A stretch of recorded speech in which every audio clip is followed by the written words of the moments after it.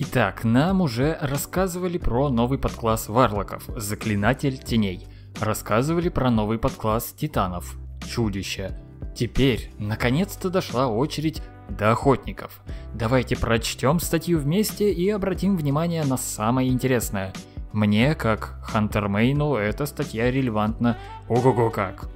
С самого начала мы знали, что охотник воплотит идею замедления стражей вокруг себя с помощью своих стазисных способностей. Началом этой стратегии стала рукопашная атака «Губительный клинок». Благодаря ей игрок бросает смертоносный сюрикен стазиса, который рикошетом отлетает от поверхностей и врагов, замедляя их и нанося им урон. Поразив одну цель двумя сюрикенами, вы мгновенно заморозите противника. В самом начале статьи разработчики рассказали, как будет работать новая заряженная рукопашная атака охотника. Два метательных сюрикена Ревенанта мы уже видели в трейлерах, и при демонстрации в PvP они многих напугали, что мол, бросающаяся атака ближнего боя замораживает противника, как так? Но на самом деле все чуть сложней. Сюрикен лишь замедлит врага и нанесет небольшое количество урона, а вот чтобы его совсем обездвижить, нужно умудриться попасть в него два раза подряд. Эта задача посложнее, однако стратегическую роль таких сюрикенов сложно недооценить. Мне наиболее интересным кажется то, что эффект замедления при попадании сюрикена по ультующему противнику схож с подавляющей гранатой Титана в пустотной ветке – мы видели кадры в первом трейлере, когда охотник, попав своим сюрикеном по Титану в ульте, отключил его супер и значительно замедлил его. По сути, просто обезоружив. Нравится? Лайк. Когда охотник-ревенант полностью заряжен энергией способности, он может высвободить свои смертоносные тишину и шквал, названные так в честь пары клинков Камы, который призывает охотник. Этот супер включает в себя двухстороннюю атаку. Каждый клинок Камы выполняет свою функцию. Первый клинок при броске немедленно взрывается при столкновении, замораживая врагов в радиусе от центра взрыва, а второй клинок вонзается в поверхность или во врага, а затем взрывается, создавая стазисный шторм, который будет отслеживать ближайших врагов, замедляя и нанося им урон при контакте. Вау! Еще одна ВХ-способность охотника, которая оставит рыдать его добычу. Вообще, мне нравится описание супера. Два клинка выполняют разную функцию. Будет интересно посмотреть на то, как это работает в механике. Если при активной ульте Ревенанта мы сможем, например, на ЛКМ и ПКМ бросать клинки разного типа и четко контролировать то, какую атаку используем в нужный момент, то это будет очень интересно. Как и в случае с Варлоком и Титаном, игроки, использующие Ревенанта, также смогут настраивать свои стазисные способности с течением времени, используя слоты Аспект и Фрагмент. Выбрав, например, особый для охотников аспект медленного уклонения, игрок сможет временно замедлить ближайших врагов каждый раз, когда он использует это уклонение. Блин, для игроков, кто любит схватки на ближней дистанции, это просто Супер аспект. Уже представляю, как охотники в горниле, бегущие с каким-нибудь дробовиком, ловко врываются в толпу противников и, убив одного, прожимают дэш, замедляя остальных, чтобы либо скрыться из их виду быстренько, либо наоборот успеть развернуться на них и сделать пару точных выстрелов или ударов сюрикенами. А если еще и с экзотиком шут под знаком близнецов, то вообще бомба-комбо сезона будет, никто тебя не найдет.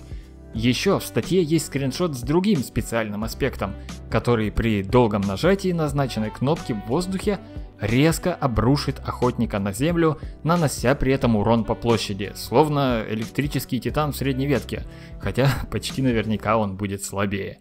На этом про охотников все. Ничего не забыли.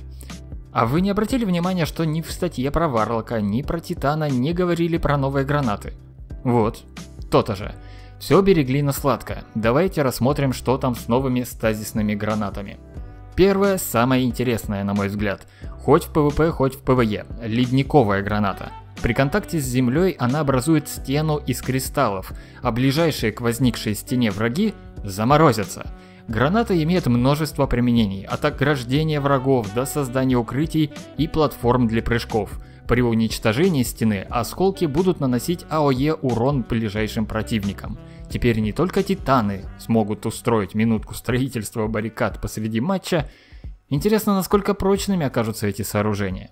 Граната «Хрупкий лед». При контакте с землей или при попадании во врага высвободит волну энергии стазиса, которая проносится по земле в направлении ближайшего врага, замораживая его, а затем выискивает следующего противника поблизости.